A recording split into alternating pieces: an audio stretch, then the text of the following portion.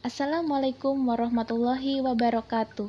Perkenalkan nama saya Lis Istriani dari program studi Pendidikan Teknik Mesin Fakultas Keguruan dan Ilmu Pendidikan Universitas Sriwijaya. Di sini saya akan menampilkan pemrograman CNC pada aplikasi CNC Simulator. Nah, berikut merupakan e, benda kerja yang akan saya kerjakan seperti ini yaitu ada diameter 40, kemudian 34, 28, 20, dan 14. Ini.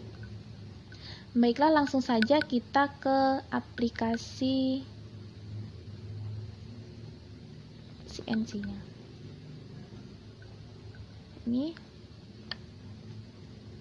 Di sini kita bisa menyetel beberapa tampilan.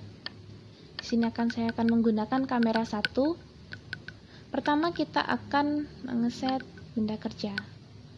Nah, di sini eh, benda kerja yang akan saya kerjakan ini memiliki panjang 150. Ini bisa kita tambahkan 150. Seperti ini. Kemudian diameternya 40, kemudian L4-nya ini 45 das seperti ini. Kemudian kita akan mengeset pahatnya.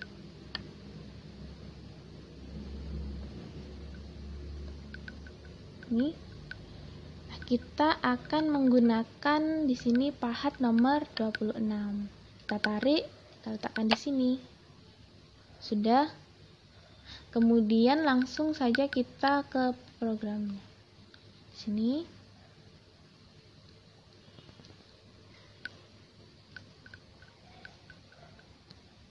Di sini kita akan menuliskan pertama yaitu G00 00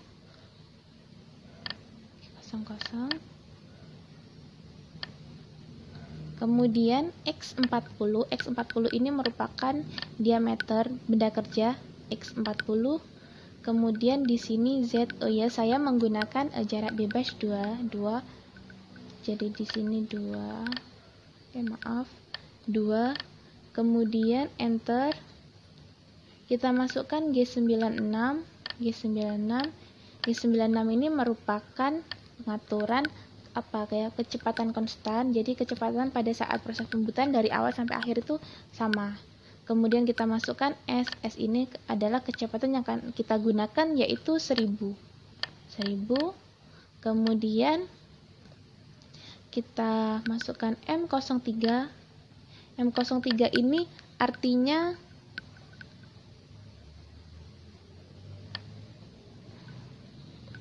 spindle sudah mulai bergerak. Dan kita masukkan M08. M08 atau pemberian kolennya sudah. Kemudian enter. Kita masukkan G00. Ini pahatnya bergerak di diameter ke 38 ini belum melakukan proses pemakanan ini baru penempatan pahatnya kemudian Z nya 2 sih kemudian enter. Nah ini melakukan proses pemakanan G01 dengan X 38 Z atau panjangnya Z ini itu 90 ini sesuai benda kerja yang di job sheet tadi 90 nah jangan lupa kita masukkan feedingnya. Ini 2 enter. Sudah kemudian ini posisi pahat ini mundur. Ke 00 dengan X 40 supaya tidak mengenai benda kerja. Kemudian Z nya 2 kemudian enter. G00. Kita letakkan pada diameter ke 36 ini belum melakukan penyayatan. 36 Z2 kemudian enter. G01 ini proses pemakanan pada diameter ke 36 36 dengan Z nya sama kayak tadi min 90 90 F nya 2 seperti ini. Kita enter lagi G00 mundur lagi ke X38 X38 Z nya 2 enter. Kemudian penempatan pahatnya G00 pada diameter ke tadi sudah melakukan proses pemakanan pada X36 sekarang ke diameter 34 4 dengan Z2 enter. Kemudian G01. Ini sudah proses pemakanan. X34 Z nya sama min 90 dengan F2 ini enter nah sebelum jauh kita boleh mencoba boleh mencoba dengan mengeklik tombol play. Ini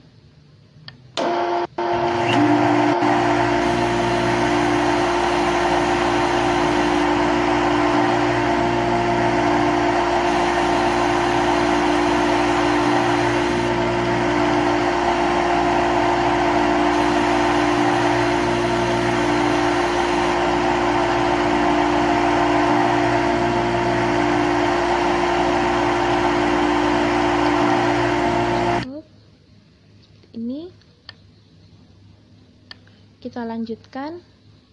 G00. G00. Pada X36 kemudian Z nya masih tetap sama. 2 kita ngelakuin 2 kemudian enter. G00 penempatan pahat pada diameter yang akan disayat yaitu X32 32 kemudian Z2 enter. Kita masukkan G01. Proses pemakanannya. X. 32 32 kemudian dengan Z Z nya min 90 in 90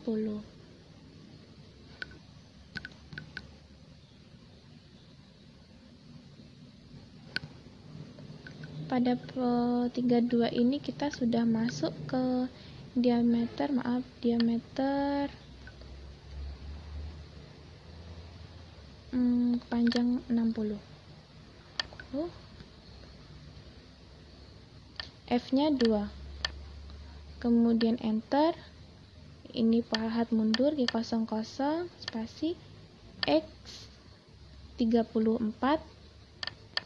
berarti tidak kemudian Z nya 2 enter G00 ini yang akan disayat yaitu X 30 lu nah 30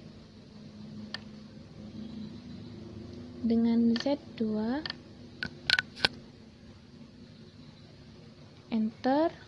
Kemudian G01 X30 ini yang disayat. Dengan Z min 60 F2 ini enter. Kemudian dipahat mundur G00 X 32 kemudian Z2 enter. Ini benda yang akan disayat G00 pada diameter. Tadi kita sudah 30 jadi sekarang 28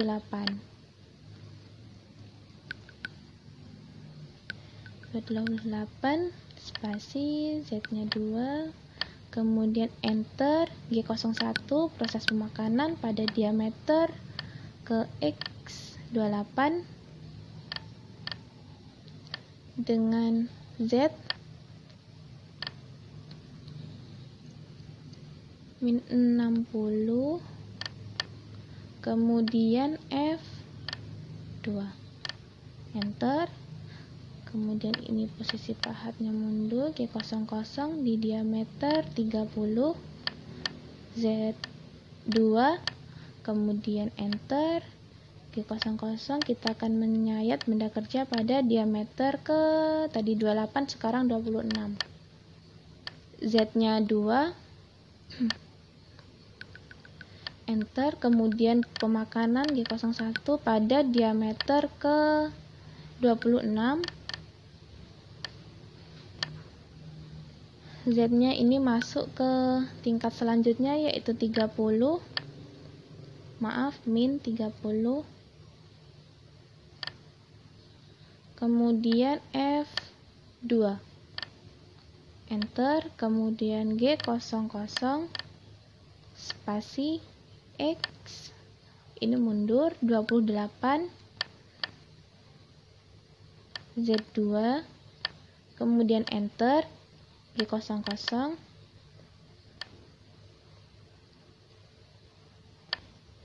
X tadi 26 sekarang 24 Z nya 30 masih di tingkat yang sama. F2 enter. Kemudian proses pemakanannya G01 pada diameter ke 24 Z2 eh maaf. Ini tadi Z2 salah. Ini 2 kemudian ini panjang penyayatannya ya maaf. Z 30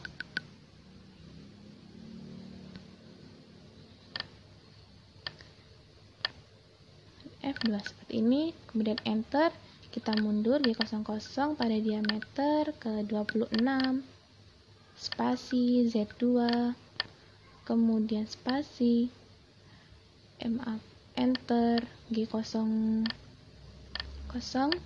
kita akan melakukan proses penyayatan pada diameter ke tadi 24 sekarang 22 Z2 enter G01 proses pemakanannya X22 Z nya 30 di tingkat yang sama 30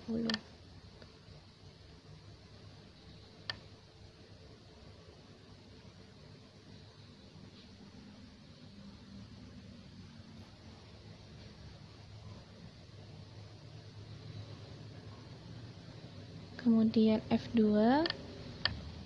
enter G00 ini pahatnya mundur di diameter 24 Z2 enter. G00 akan melakukan penyayatan pada diameter ke tadi 22 sekarang 20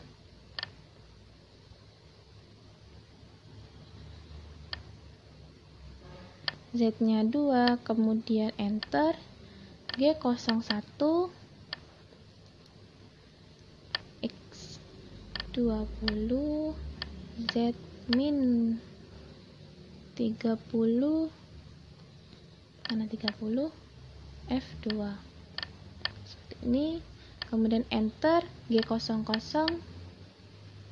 spasi X nya dia mundur 22 Z nya 2 enter G00 kita akan menyayat benda kerja pada diameter ke 18 spasi Z2 enter.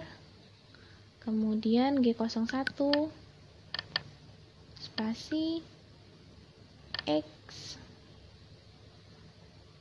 18 18 Z nya ini min 15 ini sudah masuk ke tingkat selanjutnya. F nya sama 2 enter. G00 posisi pahat mundur. X. 20 spasi. Z-nya 2 enter. G00 ini yang akan dipahat pada diameter tadi 18 sekarang 16 spasi Z2 enter. G01 spasi X16 kemudian Z nya min 15 ini masih uh, di tingkat yang sama. Ini tingkat terakhir ya. Terus spasi F2 enter. G00 X. Mundur 18 spasi Z2 enter G00. Spasi. X ini akan dibubut yaitu 14 spasi Z2 kemudian enter G01 ini proses makanannya. X14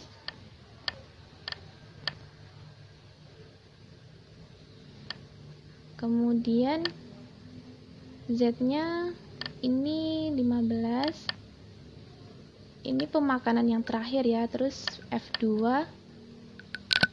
enter. Kemudian pahat mundur G00 X 16 Z2 hmm. Kemudian kita ini selesai proses pemakanannya. Kita akan memasukkan M09. M09 ini artinya uh, kita mematikan coolant kemudian kita masukkan M05 M05 ini artinya gerakan spindle itu berhenti atau mematikan gerakan spindle kita masukkan lagi M30 M30 artinya program telah berakhir Nah, ini sudah. Sebelum kita coba, uh, ini tadi kan kita sudah nyoba ya uh, penyaitannya. Jadi kita set ulang. Kita reset. Ini. Pahatnya tadi masih menggunakan pahat 26, benar. Kemudian kita langsung saja coba. Bismillah, kita klik tombol play.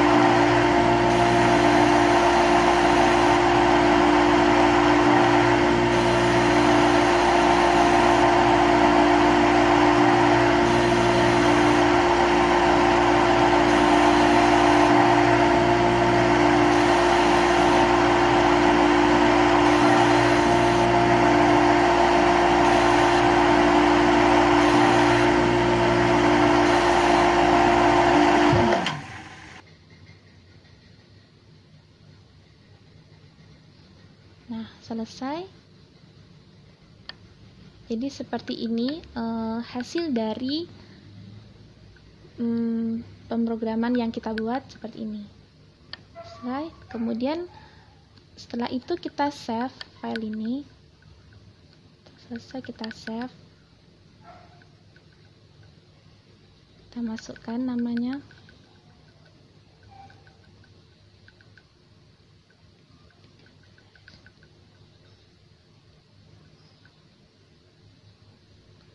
Lis Istriani tugas praktik CNC